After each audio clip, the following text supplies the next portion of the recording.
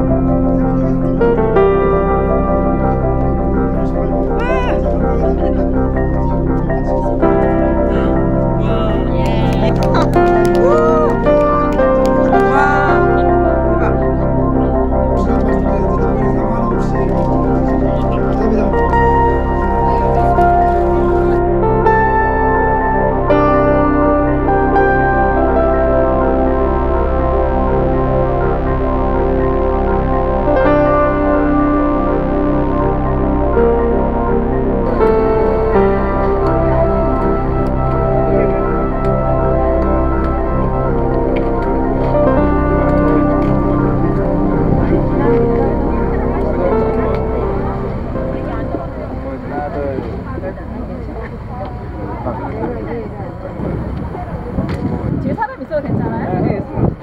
어차피 시즌에는 같이 못 찍어. 아 찍어줄게요. 근데 여기 어쨌든 이거 좋은 거 아니에요?